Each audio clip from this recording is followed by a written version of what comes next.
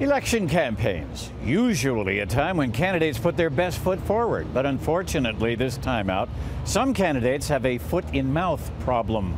Here's our political specialist, Cynthia Mulligan, who tells us that Liberal leader Kathleen Wynne's message was derailed today by just such an occurrence. Cynthia.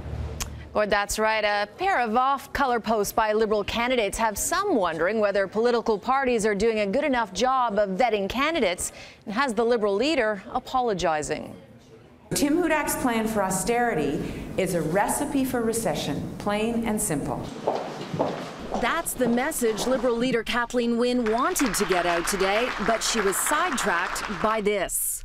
A Facebook post shared by Liberal candidate David Mossy, which compares the behinds of women who do squats with those who don't. And then there is this Facebook post by Liberal candidate Jack Uppel, which compares women's brains to men's. It says in part, women can learn many languages but cannot find solutions to problems. It derailed the Liberal leader, who had to do damage control during the morning Q&A with the media amidst allegations by opponents of sexism. As the first female premier, I've spent my life um, dealing with, uh, from time to time, inappropriateness in society. At the time, Wynne wasn't aware there was more. I, I don't. I don't know about a third one. Ah, but there is.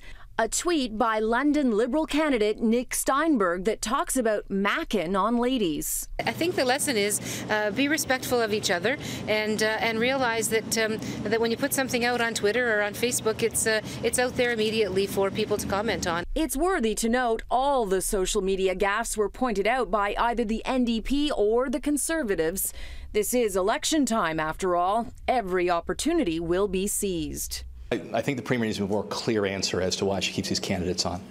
But hang on, Liberal candidates aren't the only ones who have broken political correctness boundaries on social media.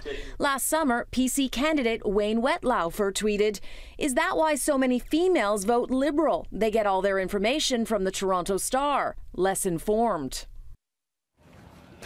And that candidate, by the way, is still running for Tim Hudak's party in Kitchener Centre. Wayne Wettlaufer apologized after a social media backlash and removed the tweet.